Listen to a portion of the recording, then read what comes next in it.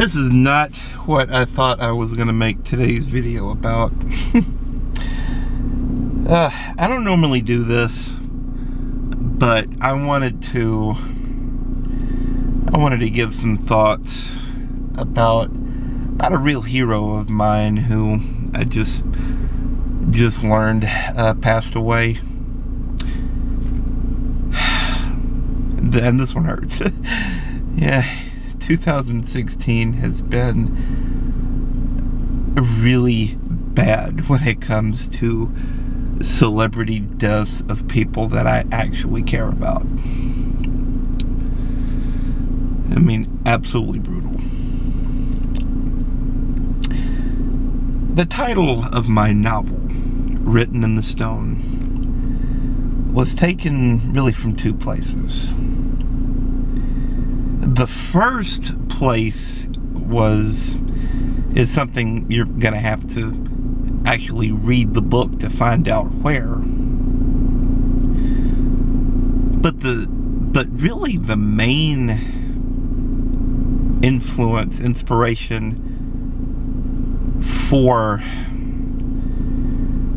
that title was taken from the lead-off track for Earth, Wind, and Fire's album I Am. The song is called In the Stone. There's a refrain in that song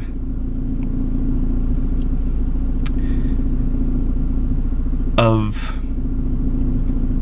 true love is written in the stone, truth is written in the stone, strength is written in the stone.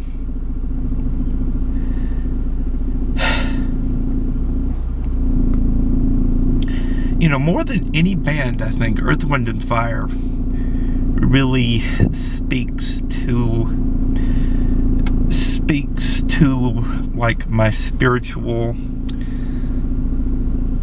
a center. um, their song "That's the Way of the World" just perhaps has one of my favorite lines in all of popular music history. A child is born with a heart of gold. The way of the world makes his heart grow cold.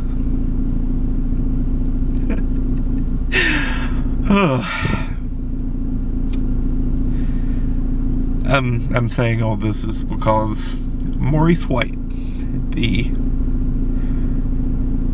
the founder, the the leader, really the spiritual backbone of the band, uh, passed away today at 74. Now he has been he has been ill for some time. He suffered from Parkinson's disease, which uh, really caused him to have to stopped touring and really, really lost his ability to sing, uh, especially in the later years.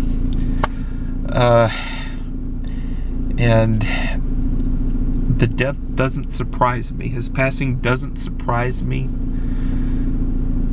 And this reaction really doesn't surprise me. When somebody whom you've never met really never even been in the same room with. I, I, I was never blessed to see Earth, Wind, and Fire play with uh, Maurice still uh, fronting the band. But for somebody to have that kind of influence on you, not just their music, but just really what they stood for, for um, he was really a beacon. Maurice was really a beacon of of brotherhood. Um, yes, he was African American, but his music spoke to everybody. Um, he, he really proved, I think, that soul is not about skin color. Soul is in here. But mostly he was a beacon of love. And so many artists nowadays are are all about just me, me, me, look at what I've got uh, type of thing. Or they're they're writing revenge songs about a lover who spurned them. Looking at you, Tay Tay. Um, but very few artists really, I think, dig into just what love means better than Earth, Wind, and Fire did. And um, thank you, Maurice. Thank you, Reese. Thank you for everything. Uh, and just just know if you're watching this video from wherever you are now just just know what type of influence you have not just on Ryan the music fan but Ryan the author and Ryan the human being. Rest well